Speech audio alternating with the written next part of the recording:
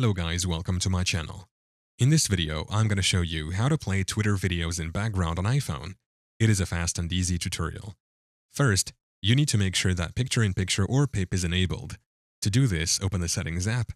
On your Settings app, open General. Under General, you have an option called Picture-in-Picture. Tap on it. Here, make sure that Start PIP automatically is toggled on.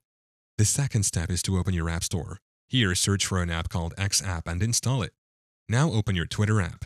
Then go to the Twitter video you want to play in the background on the Twitter app. Tap the share button, then share via. Scroll down and look for something like X app picture in picture. Tap that. The video will open in the X app you just installed. Tap picture in picture, usually a small box in the corner, and the video will play in the background. Note, there's no built-in way to play Twitter videos in the background on iPhones with the official Twitter app. iPhone apps can't play videos in the background because of phone rules.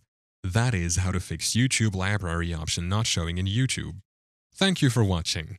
If this video was helpful, please leave a like and subscribe to my channel for more videos like this. And click on that notification bell to never miss an update.